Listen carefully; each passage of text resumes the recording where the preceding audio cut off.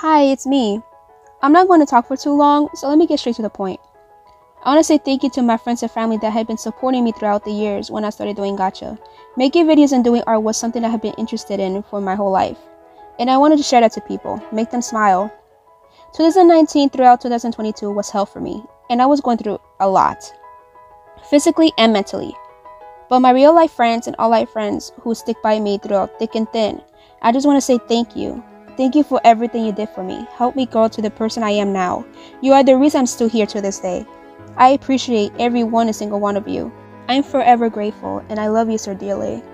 Same goes for my followers. I also appreciate the support and to help to help my account grow.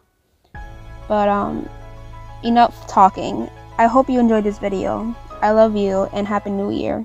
Also, before we start, I'm so sorry, but like let's hope this year 2023 will not be this shitty because bro coronavirus come on out. And then wear mask. It just it's, it's no just no. Let's not hope we don't have another virus this year because i will definitely just throw myself off this stairs or something because yeah.